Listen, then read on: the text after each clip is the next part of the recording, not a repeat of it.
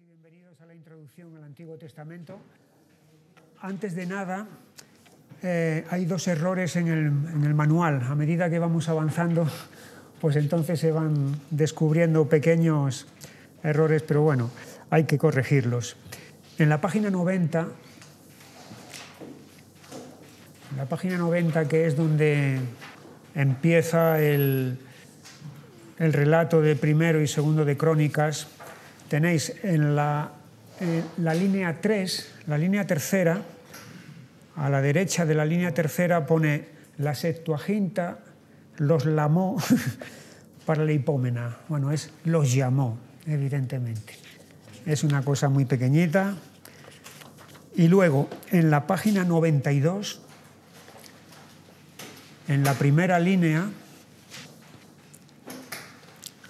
donde pone señalar el lugar del templo, 2 Crónicas 22.1. Es 1 Crónicas, o sea, primero de Crónicas 22.1. Esos son los dos errores que, que, había. Bien, pues la semana pasada entonces comenzamos eh, con el primer libro de Crónicas. Vimos la primera parte que tenía que ver con todas esas listas de nombres que eran las genealogías, que a nosotros nos puede sonar eso casi incomprensible de por qué poner tantos nombres ahí, pero ya vimos la importancia que tienen las genealogías, en primer lugar porque nos remiten a la historia y nos remiten a personajes históricos y no mitológicos. Luego también otra cosa es que las genealogías son la demostración de que las promesas dadas a Abraham y a David se han cumplido porque la promesa dada a Abraham tenía que ver con eh, que de él nacería una nación grande. Y efectivamente en, las genealogías están constatados todos los descendientes de las doce tribus, lo cual quiere decir entonces que efectivamente esas doce tribus son el, el núcleo de la nación que, que luego sería Israel y también la promesa dada a David de que eh, Dios le, levanta, le va a levantar dinastía en el trono y efectivamente ahí tenemos la línea dinástica de, David. ¿no? Entonces la genealogía tiene su importancia por todo eso. También muestra la legitimidad para un cargo. Un cargo en ocasiones tiene que ver con el linaje. En ocasiones son el cargo de rey y el cargo de sacerdote y de levita. Si perteneces al linaje de David, entonces eh, tienes legitimidad, tienes derecho para el trono. Pero si no perteneces a ese linaje, no importa la excelente persona que seas y las cualidades que tengas y demás, que no puedes aspirar al trono. Y lo mismo ocurre también con el sacerdocio y con ser eh, levita. Si perteneces al linaje de Aarón, tienes legitimidad, es decir, tienes derecho para ser sacerdote y si perteneces al linaje de Leví, tienes eh, legitimidad para también ser eh, levita. Si no perteneces a esos linajes, no puedes ser ni sacerdote ni levita. Es por esto, por la importancia que la genealogía da a la legitimidad, por lo que eh, Mateo en su Evangelio comienza con la genealogía, eh, libro de la genealogía de Jesucristo, hijo de David, hijo de Abraham. Hijo de David quiere decir descendiente de David y descendiente de Abraham, y a partir de ahí el evangelista comienza la lista de nombres que, comenzando con Abraham y pasando por David, entonces desembocan en Jesús. ¿Por qué? Es muy importante esa genealogía. Pues porque si Jesús no pertenece a este linaje de David, entonces mm, no puede pretender, no puede aspirar al trono de, de Israel, a la promesa dada a David por Dios de que de su linaje nacería uno que sería rey eh, eternamente y, y para siempre. Por lo tanto, lo primero que hace Mateo en su Evangelio es introducir la genealogía, que es para decir Jesús tiene derecho legítimo entonces para ser el cumplimiento de las promesas dadas a Abraham en cuanto a que de su simiente Dios iba a bendecir a las naciones y también la promesa dada a David de que de su descendencia levantaría a uno que ocuparía ese trono eh, para siempre. Además, como Mateo, el Evangelio de Mateo eh, tiene como destinatarios principales, bueno, tiene destinatarios principales, es, universal, pero sus destinatarios principales mayormente son judíos, Mateo quiere llegar a los judíos, pues entonces mm, la mejor manera de empezar su evangelio es decir, aquí no estamos ante un impostor, ante un usurpador que se hace pasar por alguien y, luego resulta que no tiene derechos, sino que es alguien que efectivamente tiene todos los derechos legítimos para, para ese cargo que es el de ser el, el rey de Israel. Y después de tocar las, los primeros capítulos, de, primero de Crónicas, con las genealogías nos metimos entonces en el relato sobre David una vez que asciende al trono. Y en ese sentido ese relato es prácticamente casi igual al que tenemos en segundo libro de, de Samuel. Ya dijimos que en los libros de crónicas lo que estamos haciendo es un repaso al segundo libro de Samuel y también a los libros de Reyes. El repaso es muy importante, eh, didácticamente hablando, todo maestro sabe de que es muy importante, muy conveniente repasar las cosas. Es decir, mm, lo que ya se ha enseñado, volverlo otra vez a decir. ¿Por qué? Porque las cosas que han quedado claras se reafirman eh, quedan todavía más claras. Y las cosas que han quedado ambiguas o no han quedado claras, entonces en el repaso se clarifican. De tal manera que tenemos en el repaso eh, muchas ventajas y por eso estos libros de crónicas entonces nos ayudan a reafirmar lo que ya conocemos y a clarificar lo que quizás no nos había quedado tan claro, aparte de añadir otras cosas que no sabíamos. Y así es como llegamos entonces hasta el capítulo 20 la semana pasada, con el relato de los hombres de David matando a, los gigantes, lo que veíamos que era una emulación o una imitación de lo que el propio David en su juventud había hecho con Goliat, ahora son sus hombres los que lo realizan. Y de esta manera es como llegamos al capítulo 21. Capítulo 21 que es el censo que David mandó levantar sobre el pueblo de Israel. Esto también lo vimos en segundo de Samuel en el capítulo 24. Eh, Aquello le llamamos, o le, llamé yo, el pecado de las estadísticas.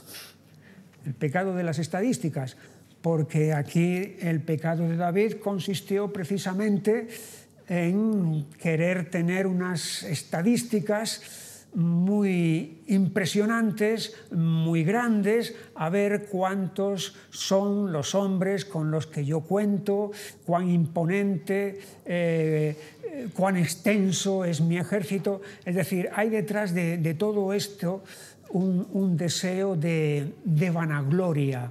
De, orgullo propio, eh, cuán importante es mi pueblo y por lo tanto eh, cuán importante soy. Es algo totalmente innecesario, hasta el punto de que el mismo Joab, el general de su ejército, un hombre que ya hemos visto, ya vimos en ocasiones, que no destaca precisamente porque sea un hombre mm, espiritual ni alguien con unos ideales muy elevados, sino todo lo contrario, Sin embargo, en esta ocasión el mismo Joab reprende a David y le dice, ¿para qué vas a hacer esto? Que lo único que va a ser es ocasión de, tropiezo y, y ocasión de pecado como efectivamente fue así. Por cierto, que el pecado de las estadísticas no es solamente una tentación, no fue una, solamente una tentación para David, es un pecado, como dijimos en su momento, que está muy extendido hoy en día, cuando hay tanta gente que lo único que busca, que persigue, es estadísticas, es números de cuántos seguidores tienen, ¿no? Eh, si ponen algo en internet o lo demás, como tengas 10 que te están visitando, eso es un fracaso, eres un desastre. Pero si tienes un millón o tienes 100 millones, pues entonces eres alguien grande y eres alguien importante. De ahí la obsesión que hay por en mucha gente por tener eh, números, ¿no? por, por tener estadísticas. Sabemos lo que ocurrió aquí, la ira de Dios vino como consecuencia de este pecado de David, tres opciones se le dieron, tres años de hambre, eh, tres meses derrotado delante del enemigo o tres días de sufrir una peste. Tres años, tres meses, tres días la opción, claro, tres años es un periodo muy prolongado, tres meses también, pero tres días parece que se pasa pronto. Y entonces David escoge la opción de los tres días porque además dice, mejor es caer en manos de Dios que en manos de los hombres. Y ahí es donde se va a iniciar una mortandad en, en la tierra de Israel y también concretamente en Jerusalén y la solución para esta mortandad, consecuencia de este pecado, es mm, edificar un altar a Dios y, entonces en, ese altar se van a sacrificar unos holocaustos y de esta manera es como Dios va a ser propicio, es decir, es como Dios va a ser apaciguado de, todo esto. Y efectivamente, así fue como sucedió y el altar se va a edificar, Dios mismo eh, le dice dónde tiene que edificarlo, es en la era de Ornán Jebuseo. Y esa era de Ornán está en Moria, en el monte Moria. El monte Moria es el monte que ya nos salió en Génesis 22, cuando Dios le manda a Abraham que sacrifique a Isaac y le dice que vaya a tierra de Moria y allí lo ofrezca y aquí es donde de nuevo otra vez vuelve a aparecer este monte Moria y es donde David ofrece este altar que es lo que va a hacer propicio, es decir, favorable a Dios, de estar airado, de estar en contra de David y del pueblo de Israel, entonces este, este sacrificio es lo que, lo que cambia eh, la actitud de Dios. Esto no quiere decir que es que mm, se le retuerce, por así decirlo, la mano a Dios, porque es Dios mismo el que está dando la solución. No es una solución humana que decimos, mediante esta manera manipulamos a Dios y entonces le hacemos cambiar. No, la solución viene de Dios, viene de parte de Dios, entonces lo cual quiere decir que eh, la misericordia de Dios es la que está interviniendo aquí y dando el remedio para el pecado que David ha ocasionado. En, ese sitio entonces es donde David dice, aquí vamos a edificar la casa de Dios. Lo tenemos en el capítulo 22 y versículo 1. Y dijo David, aquí estará la casa del Señor Dios y aquí el altar del holocausto para Israel, de tal manera que el templo que luego su hijo Salomón va a edificar, se edifica sobre esta era de Ornán que está en este monte Moria. Es el lugar donde luego el segundo templo, cuando eh, Zorobabel y los que regresen de Babilonia, Mm, reedifiquen el segundo templo va a ser en ese mismo sitio, es el sitio donde actualmente está el, muro de las lamentaciones allí en Jerusalén y es donde están los, los edificios musulmanes que luego se construyeron posteriormente y que hasta el momento están, están ahí. ¿no?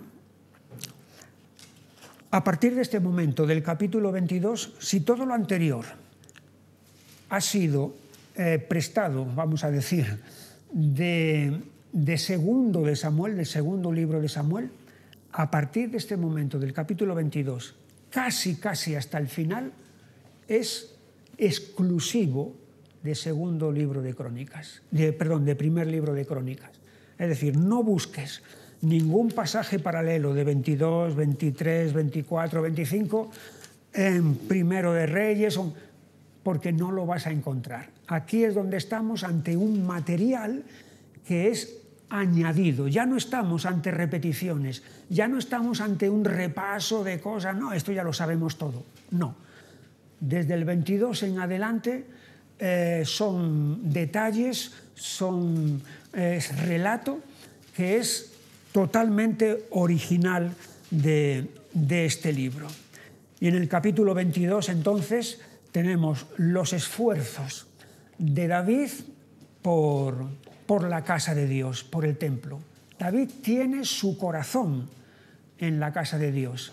De hecho, eh, ese fue el deseo que él manifestó a Natán el profeta. Yo estoy en casa de Cedro viviendo y la casa de Dios está entre cortinas, es decir, en una tienda que eh, él le había, le había preparado, el arca estaba allí, ¿no? Y entonces fue cuando Natán le dijo, haz lo que tengas en tu corazón porque Dios está, está contigo. Y lo cual demuestra el interés y el amor que David tenía por, por el templo. Lo que pasa es que él no va a poder construir ese templo porque David tiene un impedimento que Dios mismo se lo señala, es la cantidad de guerras y la cantidad de sangre que ha ido derramando a lo largo de toda su vida y por lo tanto esa, esa construcción de esa casa, de ese templo, va va a recaer en su hijo Salomón, un hombre que no va a librar guerras. Su reino va a ser totalmente pacífico, haciendo honor a su nombre y, y no va a tener que verse envuelto en cosas violentas como su padre sí tuvo que verse envuelto muchas veces. No obstante, aunque David no pueda construir él personalmente el templo, sin embargo va a hacer los preparativos necesarios en cuanto a materiales para que su hijo pueda tener todos los recursos disponibles eh, para construirlo. Así que hay una participación de David en la construcción de, ese templo, aunque no sea de manera directa y personal, pero sin, embargo sí de forma secundaria y hasta donde él puede hacerlo, él está eh, detrás de todo ese gran proyecto. Y ahí tenemos en el versículo 3, estamos en el capítulo 22, Asimismo preparó David mucho hierro para la clavazón de las puertas y para las junturas, y mucho bronce sin peso y madera de cedro sin cuenta. Y dijo David, versículo 5, y dijo David, Salomón mi hijo es muchacho y de tierna edad, y la casa que se ha de edificar al Señor ha de ser magnífica por excelencia, para renombre y honra en todas las tierras. Ahora pues, yo le prepararé lo necesario. Y David antes de su muerte hizo preparativos en gran abundancia. Y luego veremos efectivamente en detalle que lo que prepara ya no es solamente hierro y bronce y cedro, como aquí se ha dicho.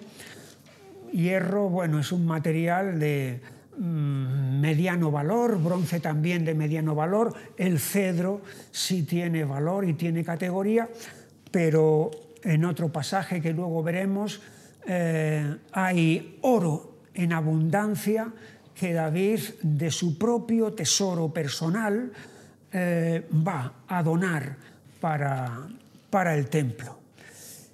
Y David le va a encomendar a su hijo Salomón en, plan privado y luego en una convocatoria mm, solemne delante de todos los principales de Israel, le va a encomendar esta tarea Versículo 6, llamó entonces David a Salomón su hijo y le mandó que edificase casa al Señor Dios de Israel.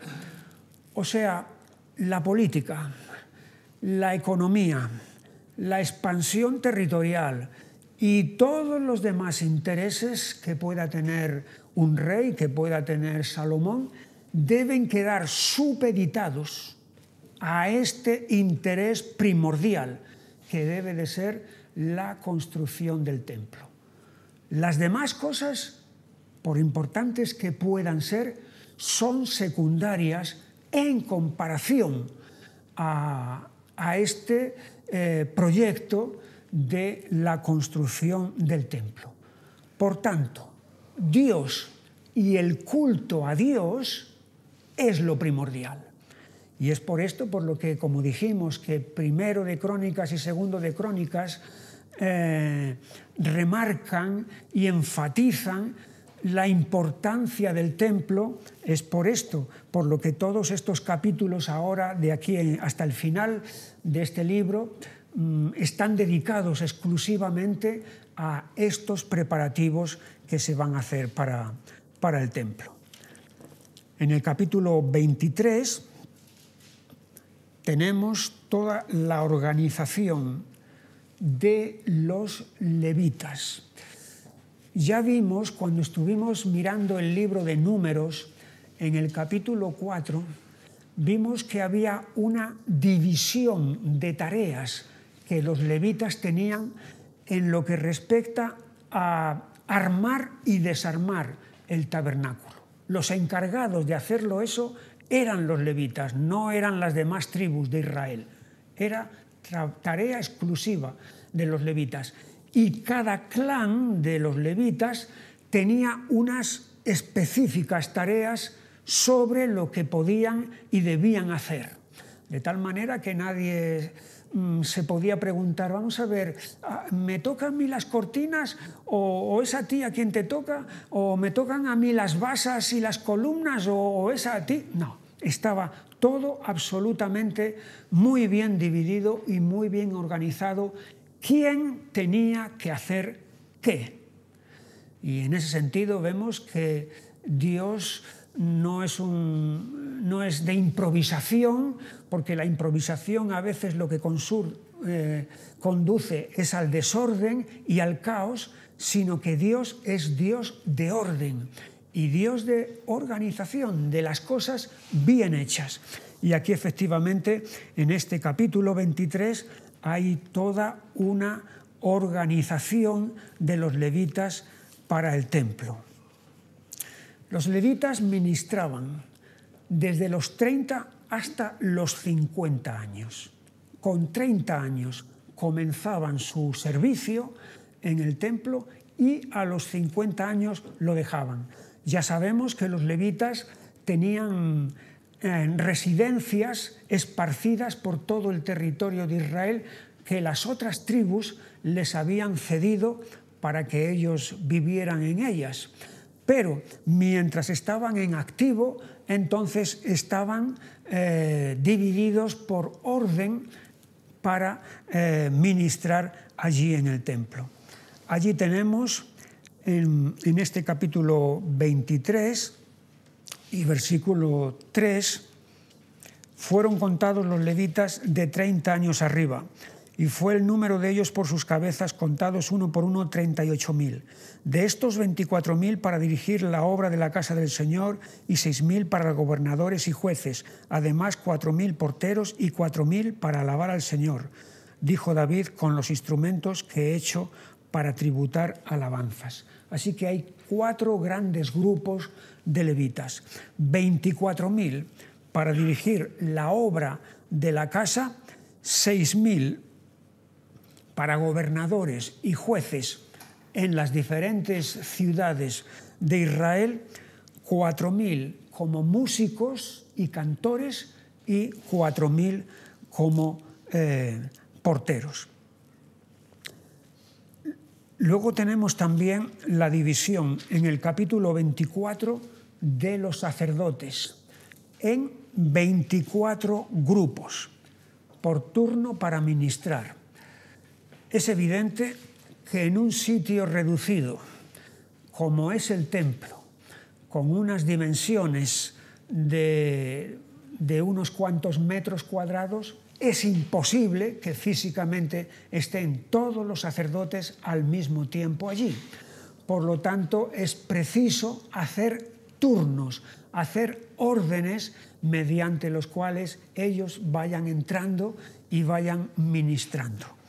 Y estos grupos los tenemos aquí en el capítulo 24, versículo 3. Y David con Sadoc de los hijos de Eleazar y Ahimelech de los hijos de Itamar los repartió por sus turnos en el ministerio. Y aquí se hacen suertes también sobre a quién le va a tocar cuándo. Versículo, desde el versículo 7, ¿ves? La primera suerte tocó a, la segunda a, la tercera, hasta llegar al versículo 18, la vigésimo tercera y la vigésimo cuarta. Así que hay 24 órdenes o turnos, entonces, con los cuales se van eh, de esa manera unos a otros eh, supliendo eh, los tiempos en los cuales pueden entrar al, al templo a ministrar. Aquí está la razón que encontramos en el Evangelio de Lucas, en el capítulo 1, con lo que sucedió con el padre de Juan el Bautista, lo sería el padre de Juan el Bautista, con Zacarías, capítulo 1, 1 y versículo 8, él era sacerdote, Aconteció que ejerciendo Zacarías el sacerdocio delante de Dios, según el orden de su clase, conforme a la costumbre del sacerdocio, le tocó en suerte ofrecer el incienso entrando en el santuario del Señor. Y fue cuando él entró en el santuario y estaba allí, cuando tuvo la, la, visita del, del ángel entonces para anunciarle que su mujer Elizabeth iba a ser madre, madre entonces de, de Juan el Bautista. Pero esto que Zacarías está haciendo aquí, de entrar según el orden de su clase, conforme a, a, la suerte que le ha tocado de ofrecer el incienso, esto es lo que viene eh, del orden que instituyó David, de la organización que instituyó David aquí en el, primer libro de Crónicas en el capítulo 24. Luego otra cosa que va a hacer David también la tenemos en el capítulo 25, que es la distribución de músicos y cantores. Ya dijimos la semana pasada que en el culto, en el templo, la música tiene un papel muy, muy importante. Y aquí precisamente es donde se especifica esa organización de los, de los músicos y de los cantores. Versículo 1. Asimismo, David y los jefes del ejército apartaron para el ministerio a los hijos de Asaf, de Emán y de Jedutún, para que profetizasen con arpas, salterios y címbalos, y el número de ellos, hombres idóneos para la obra de su ministerio, fue, y aquí empieza a dar entonces los nombres de todos estos levitas, porque todos ellos son levitas que están consagrados a, al ministerio musical. Como vemos aquí, dice que son hombres idóneos para la obra de su ministerio. Es evidente que no cualquiera vale para la música. Si yo tengo un oído que es como un zapato, pues entonces es mejor que no, que no lo intente, que no me meta en eso, porque es evidente que no es mi campo. Pero aquí tenemos a hombres idóneos para la obra de este ministerio. Y aquí vemos de nuevo otra vez este personaje Asaf, que ya mencionamos la semana pasada, que dijimos que fue el compositor de, de varios salmos. De encabezamiento ahí, él fue el autor de, de varios salmos. De hecho, muchos de los salmos 55 de los salmos tienen un encabezamiento que dice al músico principal. Al músico principal. para fijarnos en, un ejemplo, si vamos al libro de los Salmos, en el capítulo 18, allí está, en el encabezamiento,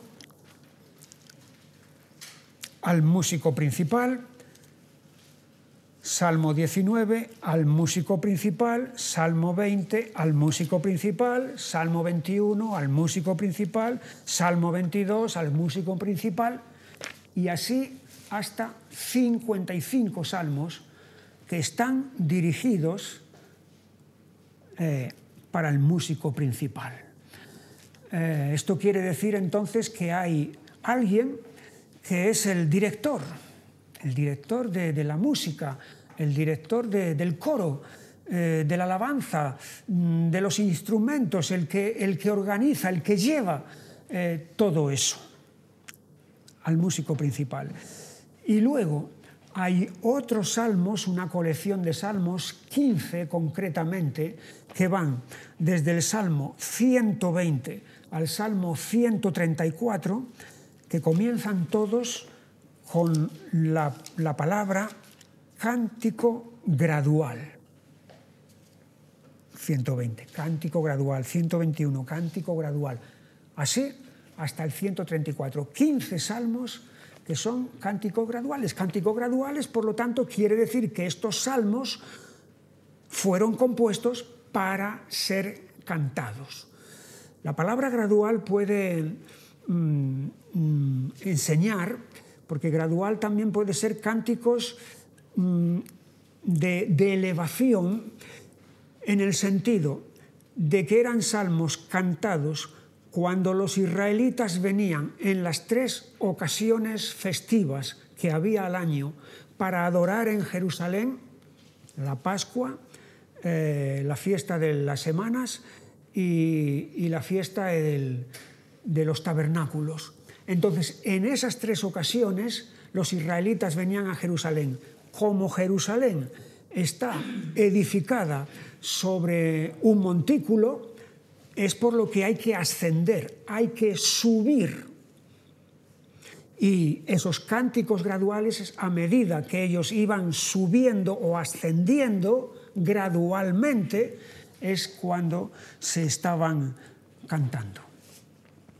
Es interesante que el Evangelio de Marcos dice que Jesús, después de estar en el aposento alto, mm, comiendo con los discípulos la Pascua, antes de ir a Getsemaní, al huerto de Getsemaní, dice que cantaron el himno. Cantaron el himno. Y es evidente ahí que debe de referirse a un salmo. No sabemos exactamente cuál es el salmo, pero sería la costumbre entonces en esa ocasión también de, de cantar apoyándose precisamente en los salmos. Por lo tanto, como dijimos la semana pasada, la música, el canto, va a tener un papel muy importante en el culto en el templo. Algo que es David quien lo impulsa. El dulce cantor de Israel, el fabricante, David, de instrumentos musicales, él es el que va a, impulsar toda esta faceta que hasta entonces mm, no tenía ese, ese papel preponderante. Mm, aquí también hay un reparto de turnos en esta distribución de músicos y cantores, capítulo 25 y versículo 8. Y echaron suertes para servir por turnos, entrando el pequeño con el grande, lo mismo el maestro que el discípulo es evidente que físicamente es imposible que puedan estar todos allí al mismo tiempo y por lo tanto tienen que rotarse unos unas veces y otros otras, pero todos los músicos y los cantores están eh, participando en esta, en esta adoración, ¿no? en esta alabanza. Además de los músicos y los cantores, para el templo hay porteros, capítulo 26. Los porteros están encargados de velar por la casa de Dios. eh, en el templo de Salomón hay cuatro puertas. Norte, sur, este y oeste. Y en esas puertas hay porteros entonces que están velando por el buen orden de lo que allí está pasando y también están durante la noche. De ahí que es posible que el Salmo 134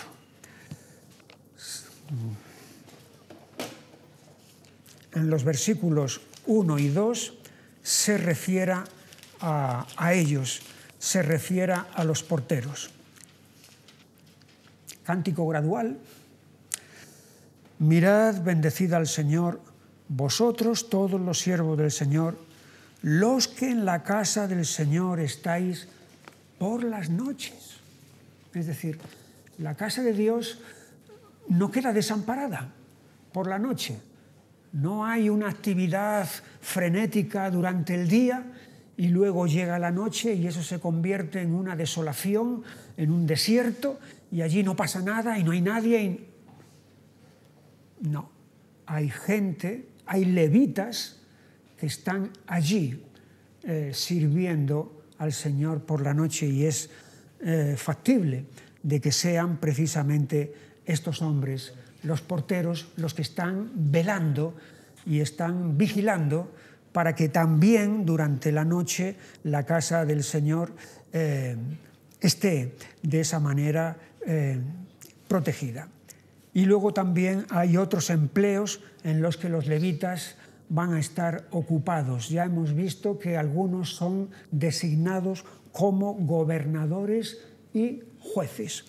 En este capítulo 26 en el versículo 29 de los israelitas, que y sus hijos eran gobernadores y jueces sobre Israel en asuntos exteriores. Así que tenían a su cargo otras tareas que en este caso tenían que ver hacia el pueblo. Bueno, si son hombres consagrados a Dios, si andan como deben de andar, ¿quién mejor para ocupar este puesto que, ellos. Así que vemos aquí la importancia que tiene todo lo que tiene que ver con el culto en el templo y lo que allí se hace. Es central, es vital. Y David quiere que todo eso se haga eh, de esta manera, de tal manera que cuando llegue Salomón las cosas ya están preparadas, ya están organizadas, no solamente en cuanto a materiales, sino también en cuanto a organización. Luego llegamos al capítulo 27 y aquí eh, se está tratando no ya del, del, templo, sino se está tratando del el reino en sí, en su faceta, vamos a decir, eh, secular, en su organización en, su buen funcionamiento, como todo reino, tiene que estar funcionando. Y así hay un ejército. Versículo 1. Estos son los principales de los hijos de Israel, jefes de familias, jefes de millares y de centenas, y oficiales que servían al rey en todos los negocios de las divisiones que entraban y salían cada mes durante todo el año, siendo cada división de 24.000. Un reino para que sea estable, y para que perdure en el tiempo tiene que estar bien organizado y bien organizado militarmente. En un tiempo cuando los enemigos salen de todos los sitios y crecen como las setas, entonces es vital que un reino tenga su organización militar, pero también su organización económica. Y allí tenemos en el versículo 25 Azmavet, hijo de Adiel, tenía a su cargo los tesoros del rey, y Jonatán, hijo de Ucías, los tesoros de los campos, de las ciudades, de las aldeas y de las torres, y de los que trabajaban en la labranza de las tierras, Edri, hijo de Kelú, de las viñas, Simei, Ramatita, y del fruto de las viñas para las bodegas, Zabdi, Sigmita, de los olivares e higuerales de la Sefela, Baal Hanán, Gederita, y de los almacenes del aceite, Joás, del ganado que pastaba en Sarón, Sitrai Saronita, y del ganado que estaba en los valles, Safat, hijo de Adlai, de los camellos, Obil Ismaelita, de las asnas, Gedías Meronotita, y de las ovejas, Jacid Agareno. Todos estos eran administradores de la hacienda del rey. Organización militar, organización económica. Vemos que hay unos responsables que están al cargo de los diferentes aspectos económicos eh, mediante los cuales la, la, nación tiene que subsistir, va a poder eh, vivir. David también tiene un círculo íntimo de colaboradores. Lo tenemos aquí en el versículo 32. Y Jonatán, tío de David, era consejero, varón prudente y escriba, y Jehiel, hijo de Jamoni, estaba con los hijos del rey. También Aitofel era consejero del rey y Usai Arquita, amigo del rey. Después de Aitofel estaba Joyada, hijo de Benaía y Abiatar, y Joab era el general del ejército del rey. Aquí están como los consejeros del rey, aquellos que están muy cerca de él y los cuales le van a asesorar o, cuando tenga preguntas o, resoluciones importantes que tomar, ahí están esos hombres para aconsejarlo y, para darle, bueno, guía. Algunos de ellos nos suenan, ¿verdad? Aitofel fue el hombre que luego le traicionó cuando Absalón se levantó contra David. Aitofel se pasó al bando de, de Absalón. Aitofel, recordamos que era el tío de Besabé.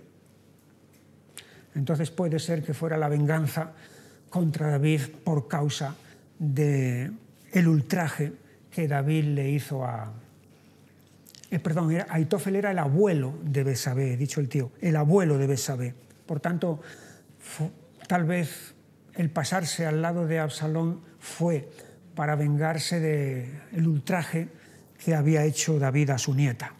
Y luego también tenemos a Usai en el versículo 33, que fue vital precisamente en los momentos, en las horas bajas, cuando David estaba huyendo de Absalón, este hombre Usai salió al encuentro de David para ofrecerle su apoyo y ese apoyo fue decisivo para que se produjera un vuelco en la situación y finalmente la derrota de, de Absalón.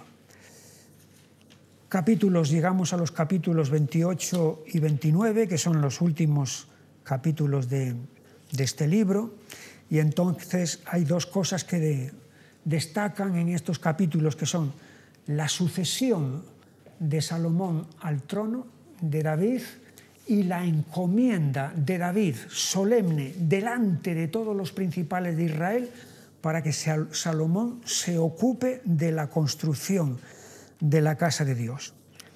Capítulo 28 y versículo 2. Y levantándose el rey David, puesto en pie, dijo, Oíme, hermanos míos y pueblo mío, yo tenía el propósito de edificar una casa en la cual reposara el arca del pacto del Señor y para el estrado de los pies de nuestro Dios y había yo preparado, había ya preparado todo para edificar. Mas Dios me dijo, tú no edificarás casa a mi nombre, porque eres hombre de guerra y has derramado mucha sangre. Aquí es donde vemos el impedimento insalvable que David tiene para edificar el templo. Un impedimento que es Dios mismo quien le dice, tú no puedes, David tiene el deseo de todo su corazón, pero tiene este impedimento. Moisés también tuvo el deseo de entrar en Canaán, de pisar la tierra de Canaán, pero había un impedimento insalvable que Dios mismo se lo puso cuando Moisés perdió los papeles en aquella ocasión cuando el pueblo empezó a quejarse y él les habló de forma violenta y empezó a dar golpes también a la roca en vez de hablar como Dios le había dicho. Y ahí fue cuando Dios le dijo, por no haber creído en mí, no entraréis entonces en, en la tierra. Moisés tuvo un impedimento, David tiene otro impedimento. Pero el hecho de que tengamos impedimentos para hacer cosas para Dios en nuestro corazón, si son conforme a la voluntad de Dios, no quiere decir que esas cosas quedan frustradas y quedan sin hacer, sino que hay otros que vienen detrás de nosotros para efectuarlas.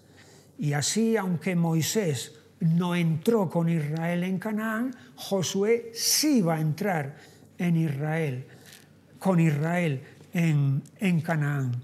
Y aunque David no puede levantar el templo, su hijo Salomón sí va a levantar el templo. Al final lo que importa es que se haga la voluntad de Dios, no que nosotros seamos los protagonistas del asunto. Porque aquí podríamos decir, bueno, David podría haber sido el protagonista perfecto en todo esto. Pero lo que importa no es el protagonismo del hombre, lo que importa es que Dios saque adelante sus planes, sea con uno o sea con otro.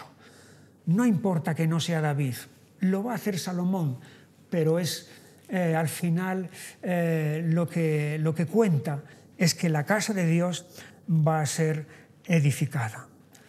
Llama la atención una cosa, que ante la negativa que Dios le pone aquí a David, tú no edificarás casa a mi nombre porque eres hombre de guerra y has derramado mucha sangre. Hay una sumisión de parte de David a esta negativa, a este impedimento de Dios. No hay en ningún momento ni asomo de rechazo, de reacción, de rebelión o, o algo así, sino todo lo contrario. David acepta esta limitación que Dios le, le, pone. Y la prueba de que David está aceptando la limitación que Dios le pone son los planos que David entrega a Salomón de la casa, del, o sea, del templo.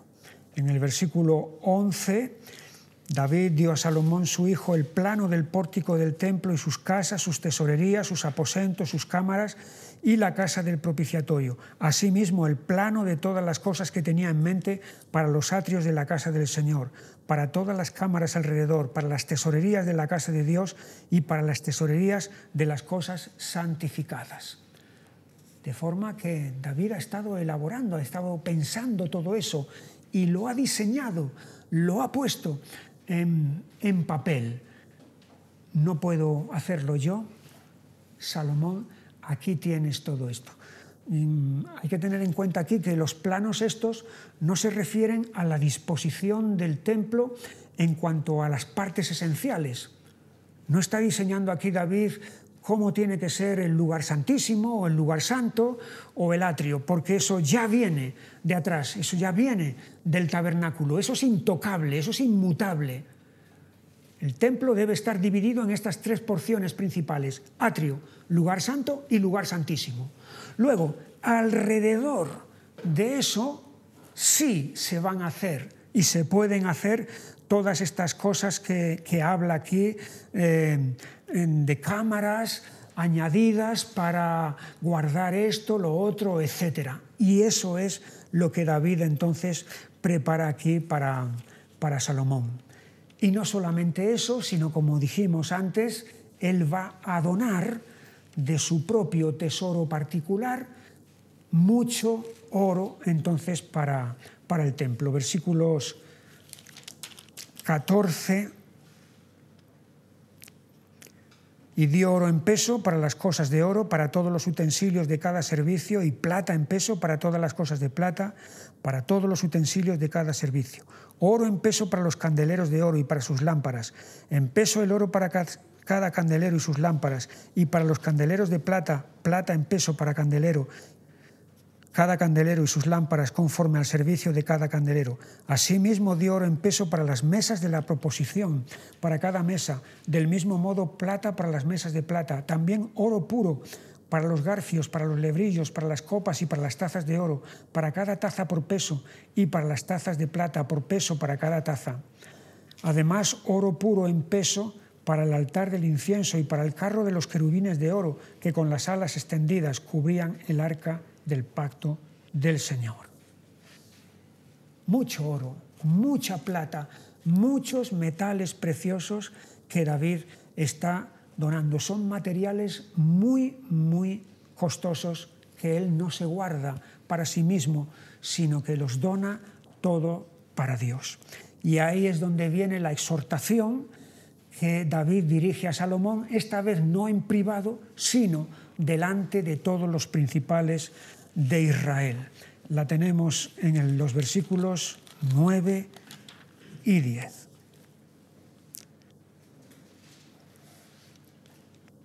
Y tú, Salomón, hijo mío, reconoce al Dios de tu Padre y sírvele con corazón perfecto y con ánimo voluntario porque el Señor escudriña los corazones de todos y entiende todo intento de los pensamientos. Si tú le buscares, lo hallarás, mas si lo dejares, Él te desechará para siempre. Mira pues ahora que el Señor te ha elegido para que edifiques casa para el santuario. Esfuérzate y hazla. Por encima de todo. Esto es lo que tienes que hacer y en esto es en lo que tienes que concentrarte. Si tienes una tarea en la vida, si tienes un deber en la vida, ese deber, esa tarea es construir esta casa. Después de esto tenemos la oración de gratitud de David en el capítulo 29 a Dios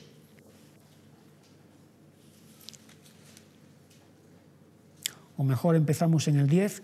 Asimismo se alegró mucho el rey David y bendijo al Señor delante de toda la congregación. Y dijo David, bendito seas tú, oh Señor, Dios de Israel, nuestro Padre, desde el siglo y hasta el siglo.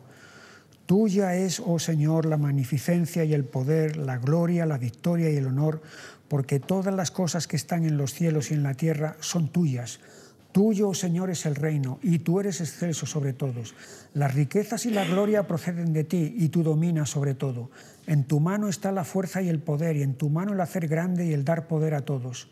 Ahora pues, Dios nuestro, nosotros alabamos y loamos tu glorioso nombre. Porque, ¿quién soy yo y quién es mi pueblo para que pudiésemos ofrecer voluntariamente cosas semejantes? Pues todo es tuyo, y de lo recibido de tu mano te damos porque nosotros, extranjeros y advenedizos, somos delante de ti, como todos nuestros padres, y nuestros días sobre la tierra, cual sombra que no dura. Oh Señor Dios nuestro, toda esta abundancia que hemos preparado para edificar casa a tu santo nombre, de tu mano es, y todo es tuyo. Fíjate el contenido de la oración que David está haciendo aquí. En primer lugar, hay un reconocimiento de la grandeza de Dios yo no soy el grande, mi hijo Salomón no es el grande, ninguno somos grandes. El único grande, Señor, eres tú. Tuya es, oh Señor, la magnificencia y el poder, la gloria, la victoria y el honor. David está exaltando, está reconociendo, está poniendo a Dios en su sitio. Y a continuación se está poniendo a sí mismo y a todos los que están en esa asamblea en su sitio. ¿Y cuál es su sitio? El sitio de la insignificancia. Señor, no somos nada. Versículos 14, porque ¿quién soy yo? ¿Y quién es mi pueblo? Para que pudiésemos ofrecer voluntariamente cosas semejantes. ¿Quién soy yo? No soy nada. ¿Quién es mi pueblo? Nada. Versículo 15, porque nosotros, extranjeros y advenedizos, somos delante de ti como todos nuestros padres. Extranjeros y advenedizos. No tenemos derechos innatos, naturales, como los naturales de un país tienen derechos de posesión, y están los extranjeros y advenedizos que llegan y no tienen nada, porque la tierra es de los naturales. Bueno, pues aquí David se está comparando con, con eso, precisamente. Lo que pensamos que tenemos no, no es nuestro. Nuestra misma existencia, nuestros días sobre la tierra, cual sombra que no dura. Nuestra propia vida, nuestra propia existencia, no la controlamos nosotros, no la tenemos eh, nosotros en nuestras manos. Viene de parte tuya. Y por lo tanto, si no tenemos nada, si no poseemos nada, quiere decir que todo lo que te estamos dando, que todo lo que te estoy dando, es algo que tú me has dado previamente, a mí primero. No te estoy haciendo un favor, no estoy haciéndote, mira, fíjate, ¿eh? Ten en cuenta esto, es un mérito, eh, el oro y la plata, toda esta cantidad. No, si yo lo tengo, es porque tú me lo has dado previamente. Porque después de todo, David tiene muy en cuenta, siempre tuvo muy en cuenta de dónde venía. Él era el hijo menor de una humilde familia, de una humilde aldea en Israel. Y que haya sido encumbrado a la posición a la que fue encumbrado es simplemente por la gracia de Dios. La oración termina con la súplica por el pueblo y por Salomón en los versículos 18 y 19. Señor Dios de Abraham, de Isaac y de Israel, nuestros padres, conserva perpetuamente esta voluntad del corazón de tu pueblo y encamina su corazón a ti. Asimismo, da a mi hijo Salomón corazón perfecto, para que guarde tus mandamientos, tus testimonios y tus estatutos, y para que haga todas las cosas y te edifique la casa para la cual yo he hecho preparativos. David en ningún momento mm, deja o ya lo ha dicho innumerables veces, pero lo vuelve otra vez a repetir. Te edifique la casa para la cual. Eso es lo que importa. Y finalmente, los últimos versículos relatan la muerte de David. Es el término de una primera y gran etapa y de esta manera es como termina el primer libro de Crónicas, con la muerte de David. Ha cubierto, el primer libro de Crónicas ha cubierto todo el reinado de David. Y ahora es cuando comienza el segundo libro de Crónicas, que tiene dos partes. Los primeros nueve capítulos narran el reinado de Salomón y desde el capítulo 10 hasta el final, hasta el capítulo 36, relatan el reinado de todos sus descendientes hasta la caída de Jerusalén y la deportación a Babilonia.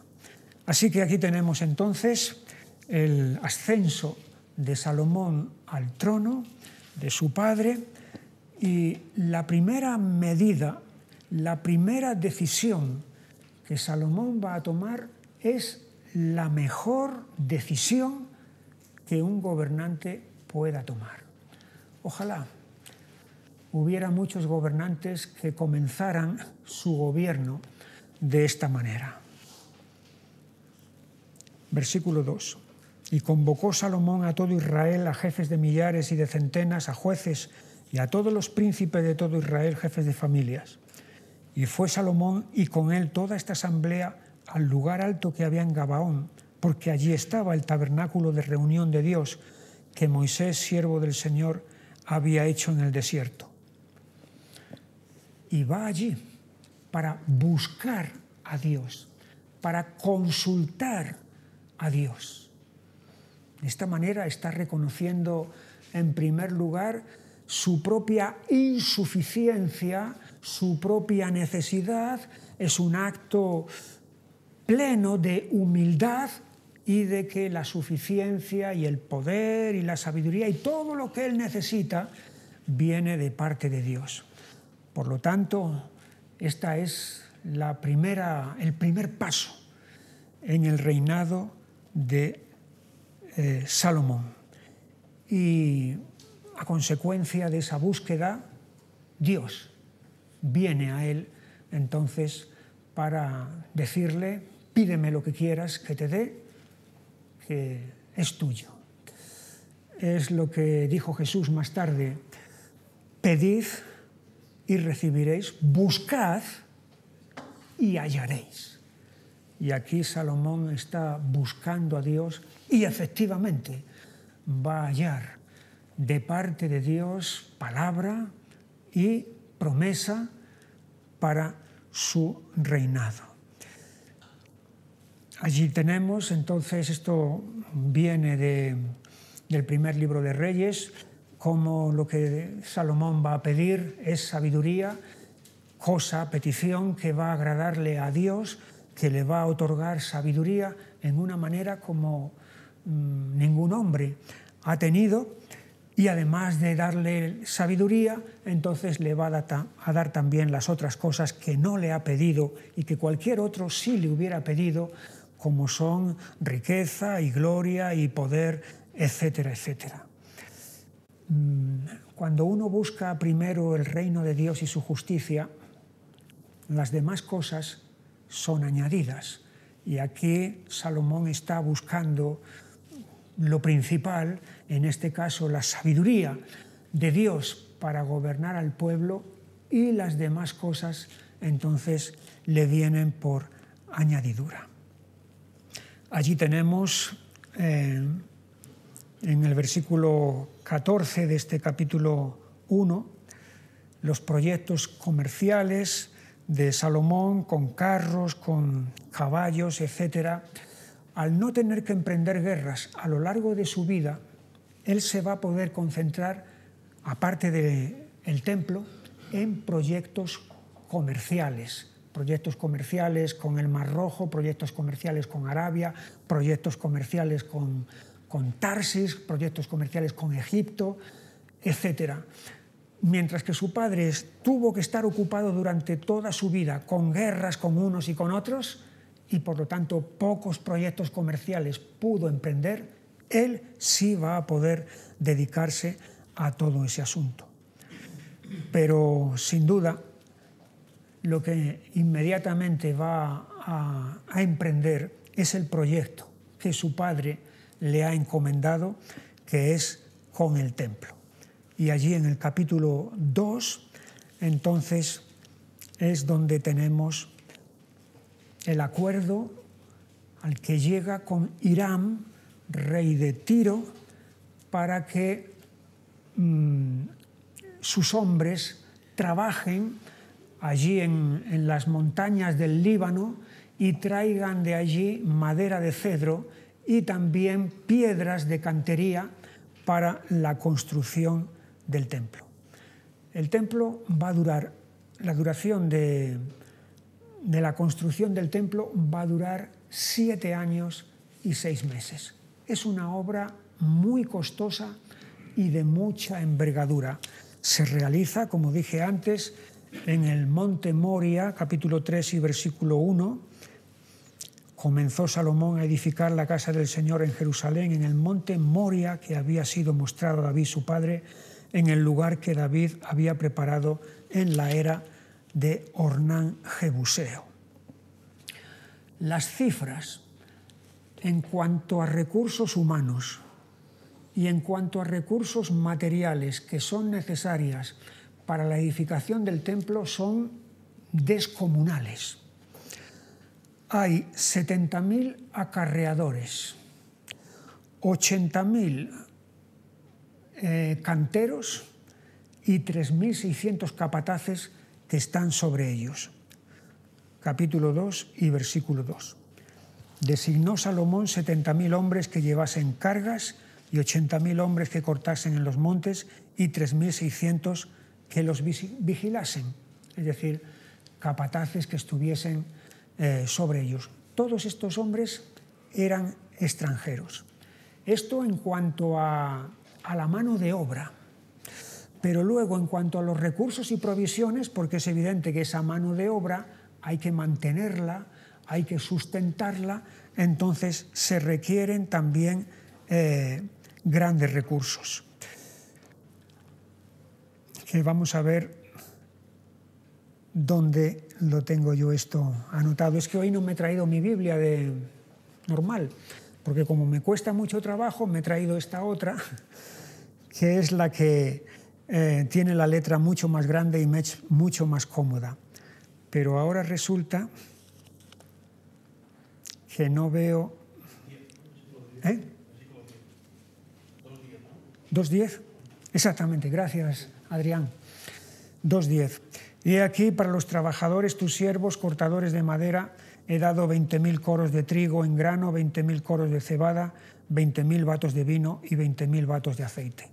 Si lo traducimos esto a nuestras medidas son 7 toneladas y media de trigo, 7 toneladas y media de cebada, 740.000 litros de vino y 740.000 litros de aceite.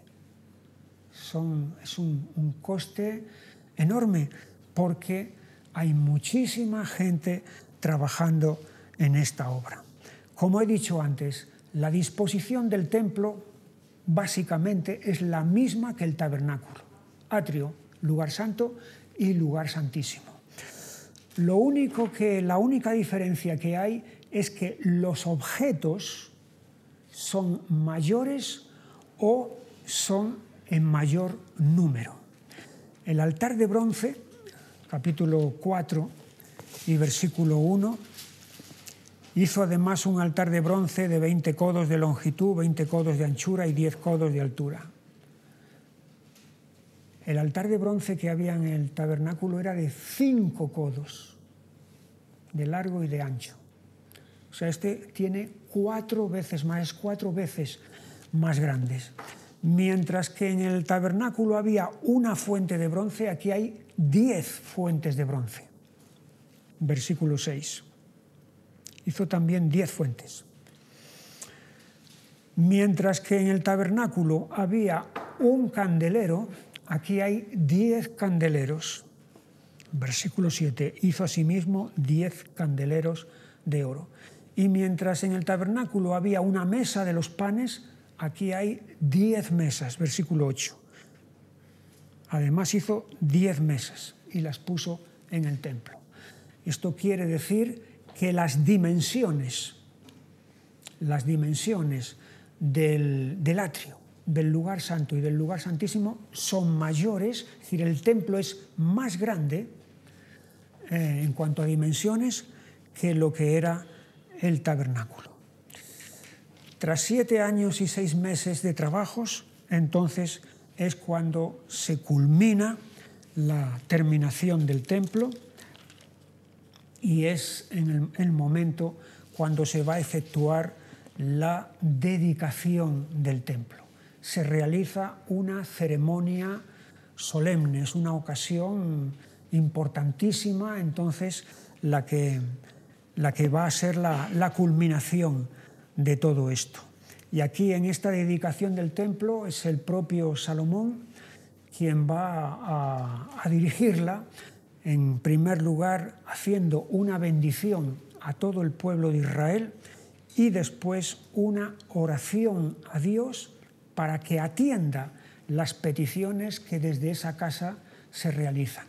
Esto ya lo vimos cuando miramos el mismo pasaje en el primer libro de Reyes. Hay, varios casos que Salomón menciona, casos de emergencia, casos urgentes, que le pide a Dios que atienda cuando allí se ore en esa casa. En el caso de derrota ante el enemigo, en el caso de sequía prolongada, en el caso de plagas que se desaten, cuando también extranjeros vengan de otros lugares para buscar al Dios de Israel, que también los atienda, cuando haya que enfrentarse a una, en una batalla ante el enemigo y también cuando haya pecado por medio. Es decir, la oración aquí mm, tiene una parte predominante en lo que se va a efectuar en el templo. Es decir, el templo no solamente es un lugar de los sacrificios, claro que sí, de los holocaustos, de los sacrificios, allí están, el altar de bronce. No solamente es el lugar de la música y de los cantos, claro que sí, hay música y cantos, pero es también el lugar, el sitio de oración. Y la oración es ponerse en contacto con Dios. De ahí que en Isaías, en el capítulo 56 y versículo 7, Dios mismo llame a su casa,